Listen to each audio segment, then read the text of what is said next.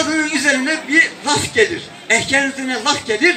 Kadın dayanamaz, dayanamaz. Erkeği o kadar sever, o kadar candan sever ki erkeğin bunu duymasın. Benim üzerime asılan bu ağır olayı duymasın diye intihar eder.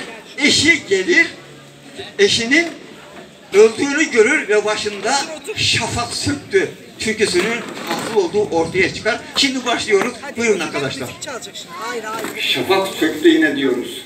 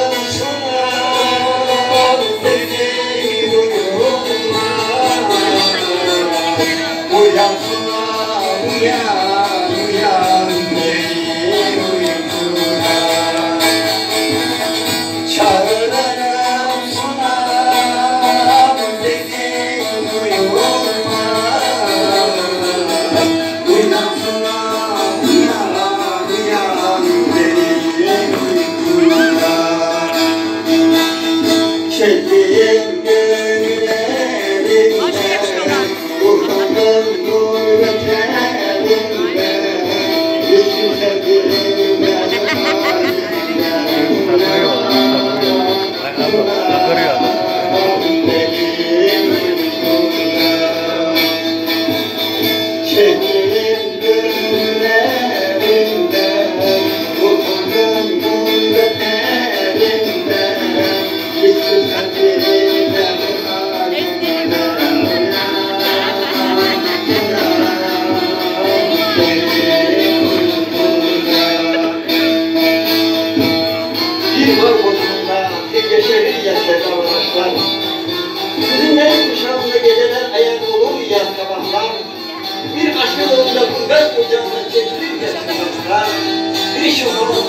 الحسن بما فلا خوف